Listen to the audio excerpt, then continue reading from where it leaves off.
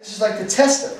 So iPad 1, number 1, was a lot thicker, okay? Bigger in size. Okay? What was the G's? 3G, 4G, 5G, what was it?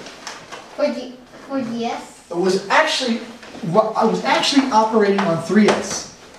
But they said it has 4G capability. The iPad 2 has what? 4S capability, and it's what? Dinner.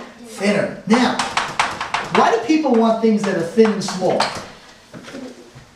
It's not that heavy. It's not that heavy, and it's what? It's easy to what? Carry. Carry around, right? So what are people looking for when they're buying computers? And if you guys may be like computer math people, maybe you'll grow up and design them. People are looking for computers that are lightweight, efficient, powerful, and effective. Okay? So first of all, who's the guy that created all this stuff? Steve Jobs, man. This guy's a genius, okay?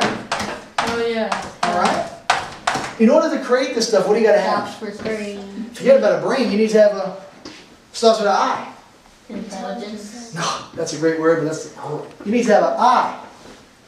You need to be able to see this thing and when nobody can see it. Imagination. Imagination, man, you need to have imagination. So Steve Jobs, when we say he has a great, great imagination? Yeah. Yeah, okay. So, iPad 1, bigger, but but with 3S capability. Okay. iPad 2, thinner with 4S. Okay? Now, both iPad 1 and iPad 2 have built-in security.